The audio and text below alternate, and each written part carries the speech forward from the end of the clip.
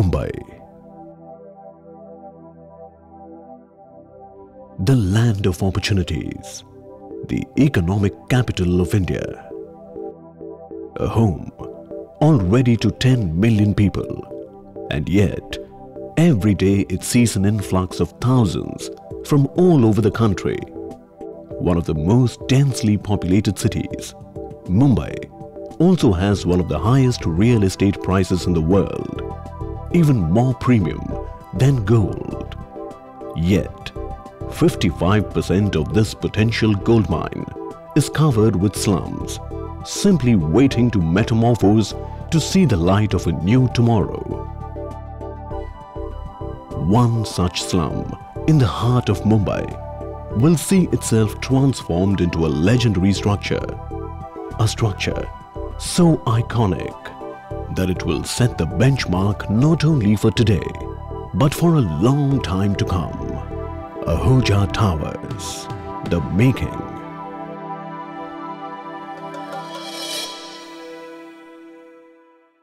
The project Ahuja Tower, it began in 2004 with the visiting the plot and having a first look at it. Having the first look at it, you see the mammoth of the humanity occupying the slum, which would give creeps to anybody. But here, we found the location was really premium. Needless to say, getting the slum dwellers to give up their homes and settle in the transit apartments until the actual building is built is by all means a Herculean task. And there was only one way to do this create a strong trust factor. How do you win over the trust factor is to show them first giving. That's what we have done in this project by offering them the transit apartments, which were far better than the normal other transit apartments. And true to their word, the Ahuja Group provided the slum dwellers with apartments far superior to what is usually given by other builders in an SRA scheme. Finally, a government-approved land with an absolutely clear title was obtained, and that too in an ultra-premium location.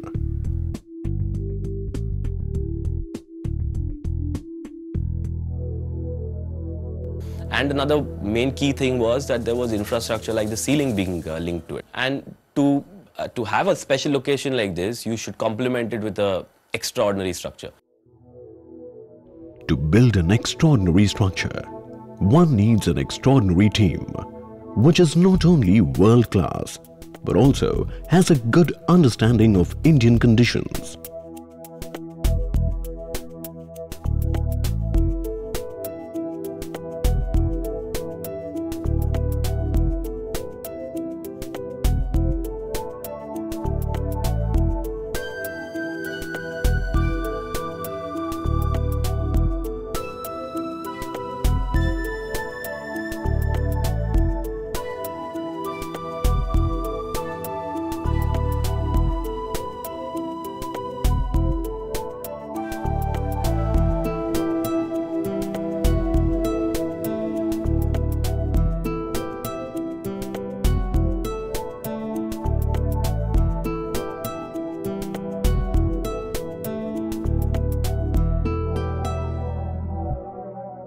From the word go, we told the architect that this project has to be no compromise. You have to go for the best and whatever, whether it is whichever part of the world, we will go and source it, we will go and find it, whether it's in terms of design or it's in terms of material.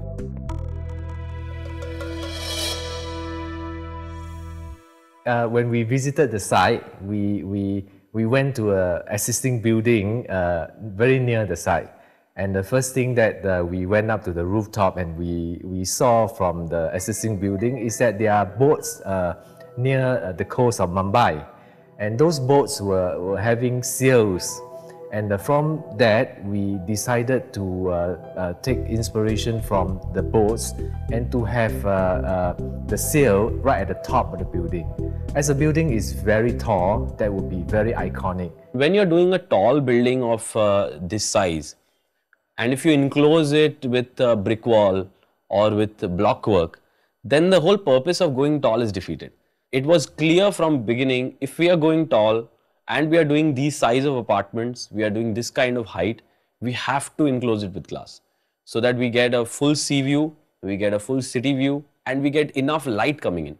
Facade, the name itself is a, is a face of the building. So which is face of the building is obviously you give a lot of importance because there is an impression of your entire development. Glass chosen for this particular project is called high performance double glazed unit. So which is actually insulated glass unit.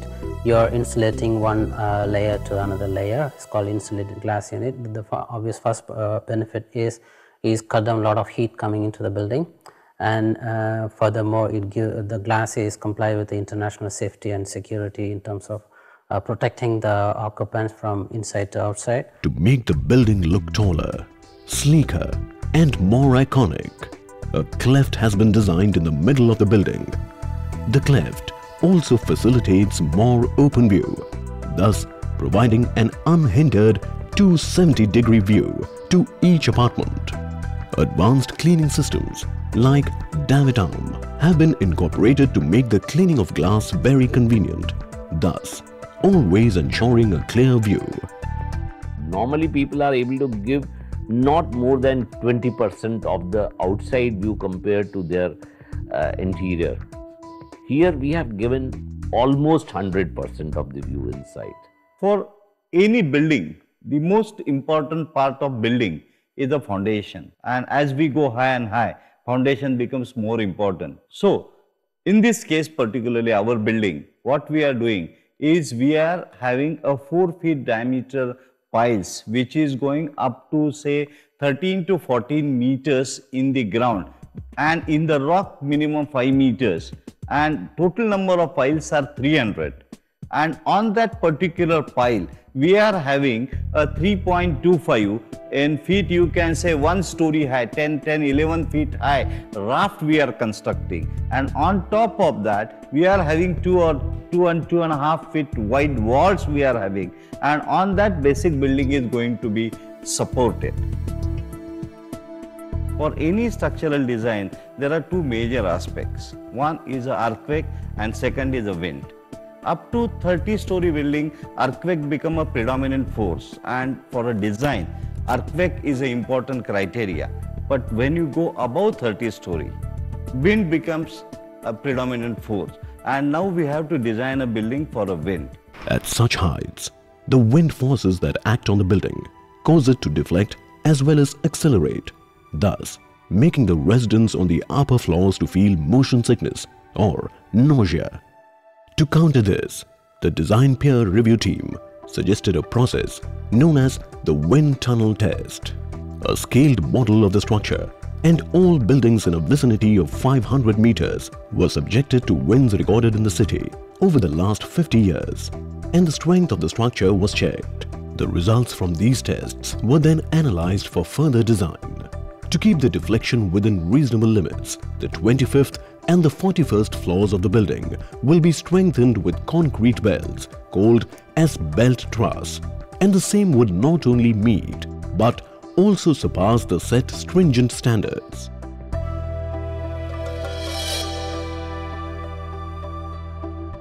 Uh, in this project, uh, our approach was slightly different. Uh, where what we did, we we changed uh, seats with the customer. Uh, we we thought, let's think from the customer's point of view. What would he want? What played a large part in the design, obviously, is the Indian culture, the extended family, um, daily life of India, um, and really reflecting the luxury that we can pull into that, but keeping in mind that there's extended family. What would be my wish list if I was, uh, uh, you know, wanting the best of the things and I would want to be pampered? Let me think everything from the customer's point of view. Speaking to the luxury uh, that we're talking about, you have a private elevator that brings you directly up to your living room. Um, you empty out right into an entry foyer, right into the living room area. Um, we've got four bedrooms in each of the apartments, the largest being the master bedroom. Our master bedroom has all the appointments of a large master bath, floating bathtub, double vanities, um, separate shower.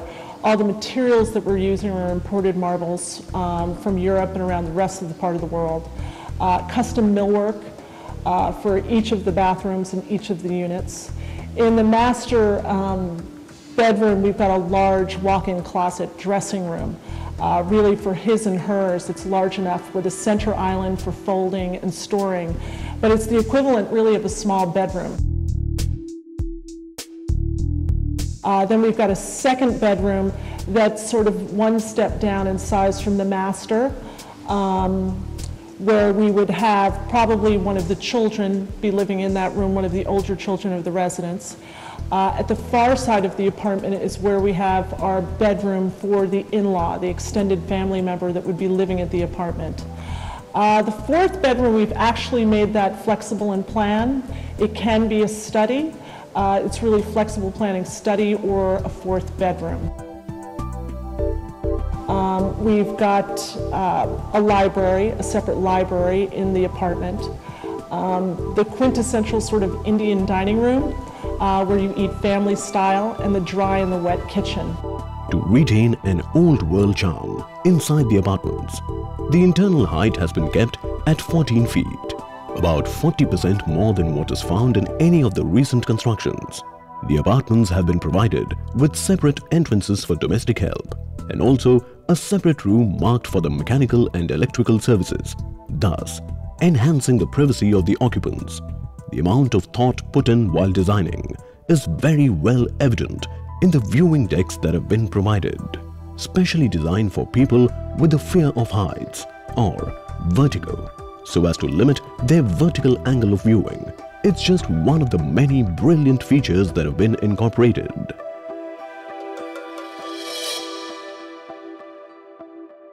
The luxury in Ahuja Towers begins as soon as one enters the building premises. Moving further into the lobby, there are services like a covered drop-off and valet. The grand lobby also houses a concierge desk that arranges for everything that one needs in the city, right from movie tickets to hotel reservations.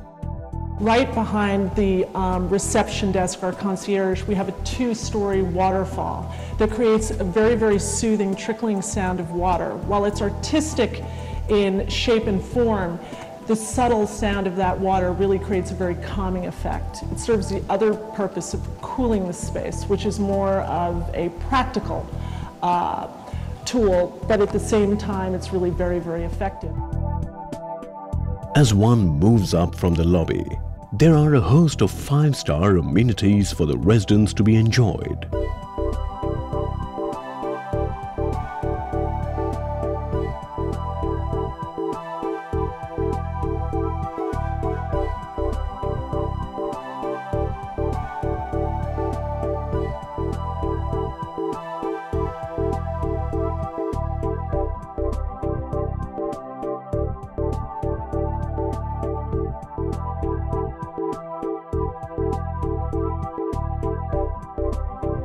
The 41st floor is the business section, wherein there are three conference rooms. This facility basically is that you want to hold a impromptu meeting and uh, you can't get out to your office because the office is closed or it's too far away.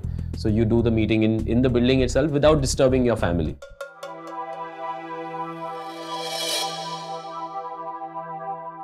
Generally in India, a normal uh, project, which would be a residential project, uh, the plumbing and electrical and mechanical services would come under the scope of the architect.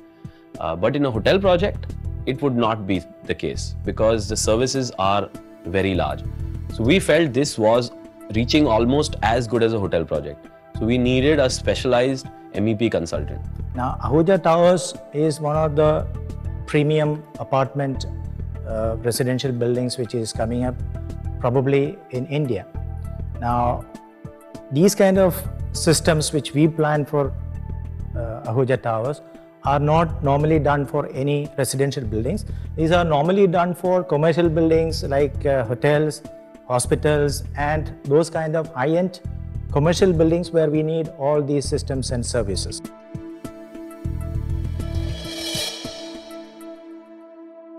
General security environment has gone bad in the world. Therefore, the security systems had to be looked into at a different uh, perspective, unlike what we had been doing earlier. Number one is the normal security environment. Number two, the the profile of the clientele or the profile of the buyer or the user of this property, both of them need that kind of a high-end security systems, which is equal to any kind of a high-end security systems which have been provided in an institutional building of that high security nature. So I can say that without any hesitation that this project, the security systems in this project is one of the topmost for any kind of a residential buildings. The security at Ahuja Towers is mainly divided into three categories. Access control systems,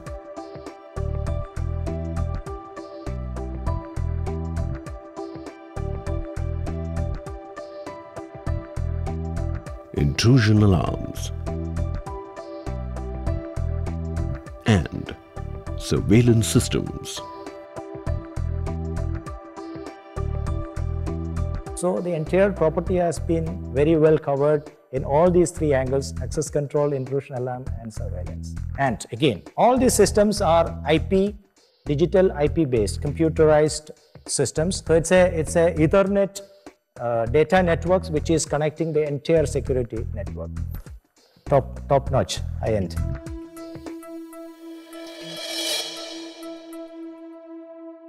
Going green, two reasons, uh, two very simple reasons. Sustainability, which is over the long term period, we want something which will uh, not impact the environment. And second, which is a very logical reason, uh, is it's user friendly. You're ultimately um, having low cost of running. So if the user sees it from his point of view, he's got low running expenditure, low on maintenance. So these were two major reasons why we felt that going green was necessary. And in tomorrow's day and age, you have to make buildings which are green. Uh, the brief that I received from the client was that they wanted to go in for a building which was a green building, a building that had a minimum negative impact on the environment during construction as well as after construction. And this is very, very critical today when you see, uh, you know, the energy uh, conservation, which is one of the needs of the hour, and resource efficiency. LEED, which is one of the most comprehensive benchmarking systems that exists today, has prescribed a set of measures for making a building green. In fact, Ahuja Towers is aiming for a gold certification from LEED, which is absolutely rare for a residential project.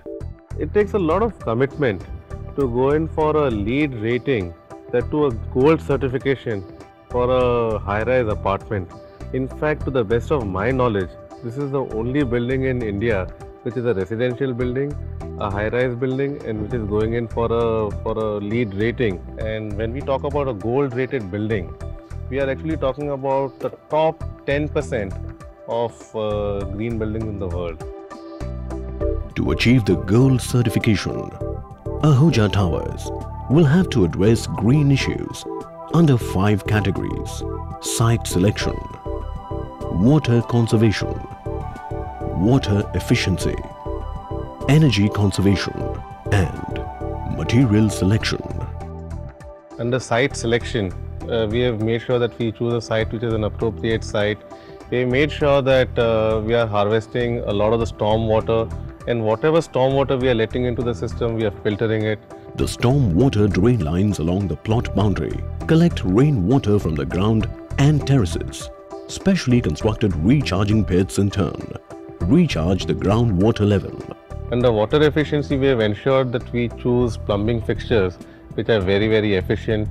And we have a sewage treatment plant in place where we treat the water and reuse this treated water to meet part of our landscape irrigation requirements.